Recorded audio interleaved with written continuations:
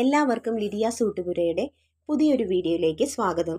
നിങ്ങളെന്റെ channel ആദ്യമായി കാണുന്നവരാണെങ്കിൽ subscribe ചെയ്യാൻ മറക്കരുത് കേട്ടോ.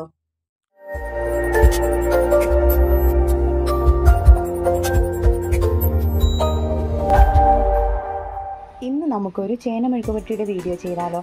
നല്ല തേങ്ങാക്കൊത്തൊക്കെ ചേർത്തുണ്ടാക്കിയ നല്ലൊരു ചേന മെഴുക്കുപുരട്ടി അതിനായിട്ട് ഞാൻ കുറച്ച് ചേന ചെറുതായിട്ട് നീളത്തിൽ അരിഞ്ഞെടുത്തിട്ടുണ്ട്. നമുക്ക് ഇത് രണ്ടും കൂടെ തേങ്ങാക്കൊത്തും ചേനയും കൂടെ ഒന്ന് വേവിച്ചെടുക്കണം ആദ്യം. അതിനായിട്ടൊരു പാത്രത്തിലേക്ക് നമുക്ക് ചേന ഇട്ട് കൊടുക്കാം.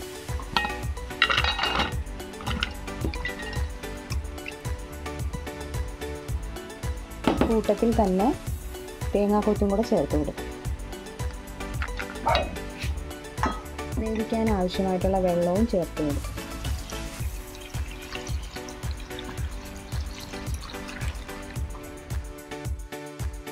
ചേന നല്ലപോലെ തിളച്ച് വന്നിട്ടുണ്ട്. ഇനി നമുക്ക് ഇതിലേക്ക് കുറച്ച് ഉപ്പ് ചേർത്ത് കൊടുക്കാം. കൂട്ടത്തിൽ തന്നെ ഒരു കഷ്ണം പുളിയും ചേർത്ത് കൊടുക്കാം.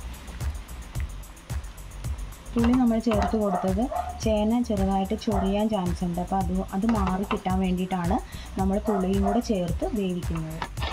ചേന പകുതി വേവായിട്ടുണ്ട്. ഈ സമയത്ത് നമുക്ക് കുറച്ച് മഞ്ഞൾ ചേർത്ത് കൊടുക്കാം. നല്ലതുപോലെ വെന്ത് വന്നിട്ടുണ്ട്. നമുക്ക് ഇനി ഒന്ന് മാറ്റിയിട്ട് ഒരു ചീനച്ചട്ടി അടുപ്പത്ത് വയ്ക്കാം ചൂടായ ചട്ടിയിലേക്ക് വെളിച്ചെണ്ണ ഒഴിച്ചു കൊടുക്കാം. എണ്ണ ചൂടായി വരുമ്പോൾ കടുക് ഇട്ട് കൊടുക്കാം.